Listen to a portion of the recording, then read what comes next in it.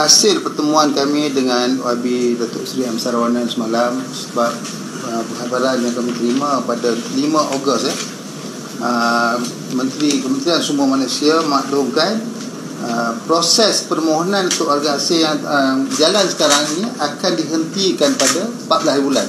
Termasuk ini tinggal cuma tinggal 3 hari lagi dan akan disambung semula pada 31 lepas 31 mana 1 September nanti dia akan bermula balik tapi mengikut uh, syarat-syarat yang agak ketat. Yang sedia ada ni pun nak kita nak fulfill sebenarnya. Dan pada saya apa dasar yang KSM bawa sekarang ni pun saya rasa cukup telus. Saya mohon ihsan lah bagi pihak Mawar. Sama juga saya juga ada Cik Suresh daripada Primas ya Persatuan Pengusaha Restoran India. Kami ni apa-apa rayuan pun kami jalankan serentak. Sebab kami industri yang sama, bangsa yang sama, agama je lain. Tapi kita ni kepada sedar kita ni satu keluarga Malaysia je. Bila mana hari ni besok mungkin akan ada komen ini memang mama ni kata dia tak akan asing je, tak nak pergi pergi tempatan. Tapi biar Allah Allah nak bagi pahala kat saya kot. Bila saya cakap tu je lah. Tapi ikhtiar kami dah habis dah sebenarnya.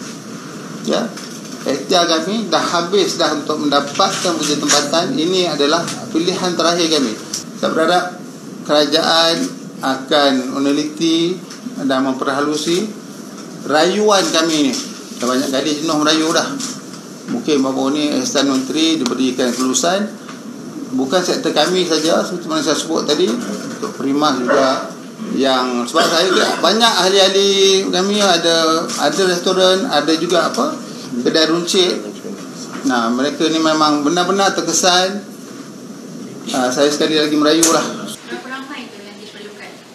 kalau saya dengan uh, restoran Presma dan Primas paling-paling tidak pun kita perlukan saya tak sebut berjasa ya saya perlukan 30,000 pekerja